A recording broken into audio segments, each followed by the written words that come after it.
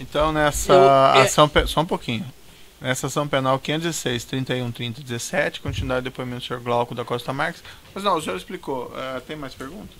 É, o senhor disse que ele usou, eh, no caso da, da empresa Billmaker, a mesma estratégia que usou, foi isso que o senhor disse, com relação ao imóvel da rua Berbeck, foi isso? Não, depois o que eu vi, falou? quando mandaram, vamos supor, eu estou achando que eu estou fazendo um negócio, investindo.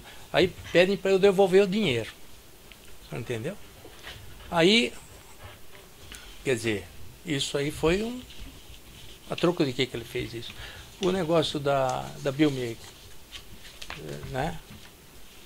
Então, é, até perdi o fio da Ah, meada. mas deixa. Certo, sem Mais mais perguntas? perguntas, sem mais perguntas, excelência. Ah, seguindo aqui na ordem da denúncia, da alfabética, defesa de Antônio Palocci. Sem perguntas, excelência.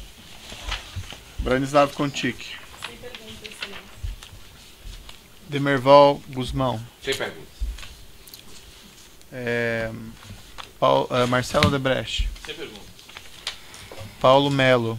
Sem perguntas, excelência. eh, Luiz Inácio. Sem perguntas, eh, Roberto Teixeira. Quiserem, se alguém puder ceder o lugar pro doutor. Boa tarde, Sr. Glaucus. Boa tarde. Sr. Glaucus, eh, só uma questão para entender. Eh, quando o senhor firmou o, o compromisso de compra e venda com a ASA a respeito deste imóvel, o senhor sabia que o senhor estava assumindo um compromisso, né? Isso. Na medida que o senhor não revendesse, aquilo era um título executivo, o senhor É, teria que claro. pagar de qualquer forma. Claro. Então o senhor tinha condições de arcar com esse compromisso, caso não houvesse a venda. eu tinha condições, eu tinha um, um pouco do dinheiro, mas eu tinha condições de arranjar isso aí, porque eu não, não ia assinar uma coisa que eu não fosse cumprir. E o senhor externou isso ao advogado Roberto Teixeira, que, eh, eh, que o senhor estava assumindo esse compromisso porque o senhor tinha essas condições, é Claro. isso? Muito obrigado, satisfeito. Ah, defesa de. acho que Todos foram, né? Acende de acusação, esqueci de novo, perdão. Então a defesa do próprio acusado tem perguntas? Alguns esclarecimentos aqui do juiz do Sr. Glaucus, muito rapidamente. Todos, né? Passei a palavra a todos os defensores, né? É, o senhor chegou a, negoci- a negociar o preço desse apartamento em São Bernardo com os vendedores?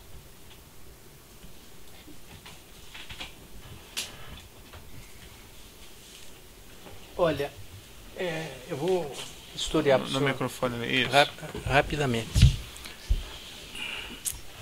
É, esse apartamento, eles notificaram a presidência, eu acredito que por 550 mil.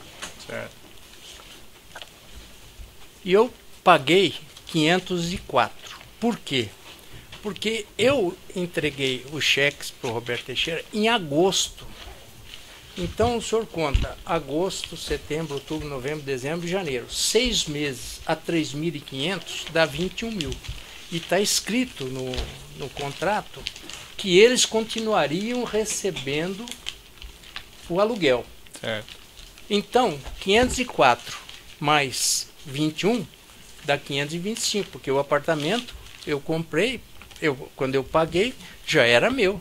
Quer dizer que eu que devia receber. Mas, então, é por isso que fica esse 504. Então, essa negociação foi feita. Tá, mas essa, E- eles, parece que eles queriam 550, deixaram por 525. o senhor tratou diretamente com os Não. vendedores?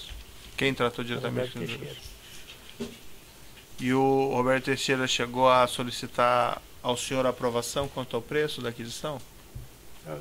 Falou para mim, ó, o apartamento vai, vai custar 504. Você vai ter que fazer três cheques administrativos, assim, assim, assim. Eu fiz e entreguei para ele. O senhor mencionou que o senhor teve alguns encontros com o senhor Luiz Inácio Lula da Silva, é isso? Não, nunca. Não? A respeito do apartamento? Não, é, em geral. É, O senhor falou que o senhor teve alguns momentos com o ex-presidente, não foi? cinco vezes na vida. Certo. É. E essas eram ocasiões mais restritas ou ocasiões mais. Não, sempre com o José Carlos e eu, eu falei para o senhor, eu tive lá quando ele foi fazer a, a propaganda eleitoral, filmar, Isso lá na fazenda do Zé Carlos, du- dois jantares na, na fazenda do Zé Carlos, uma palestra em Corumbá, Uhum. que ele fez, e eu fui com o Zé Carlos, e o aniversário do Luiz Cláudio. Algum desses eventos foi posterior à aquisição do apartamento ou foram todos anteriores? Não, todos os anteriores. Tá bom. Ah, alguma coisa que o senhor gostaria de dizer ainda? Ah, ou melhor, uma última questão. Eu não entendi muito bem porque que o senhor concordou em devolver os 600 e tantos mil dos 800 mil. Porque o José Carlos me fa... eu fui falar. Eu fiquei indignado com um negócio desse. Ah, mas assim, Eu fui falar tá, com o não Zé- pago, não devolvo. É, Por que não falou isso? Não, porque eu fui falar com o Zé Carlos, olha, eles estão me pedindo, eu, eu, eu queria saber, eu- né? Aí ele falou, não, Glaucus, você devolve, faz isso por mim, que eu não posso ficar mal com o pessoal. E ele eh, restituiu o dinheiro para o senhor? Ele compensou o senhor de alguma forma, o José Não. Carlos? Não, Ah, eu vou falar, ele estava me devendo um dinheiro, ficou devendo o apartamento, mais eh, o dinheiro que eu tinha emprestado para ele, você entendeu? E aí entrou nesse parafuso e tá aí. O senhor tem alguma falo, coisa porque o apartamento é meu, né? Certo. O senhor tem alguma coisa, alguma questão que o senhor gostaria de. Alguma coisa que o senhor gostaria ainda de declarar ao final? Não, eu, Então tá bom. eu vim aqui para falar, contar a verdade, para me redimir daquilo que eu, que eu falei, porque era a ocasião que eu tenho para Tá certo, senhor Glaucus. Então pode interromper a gravação.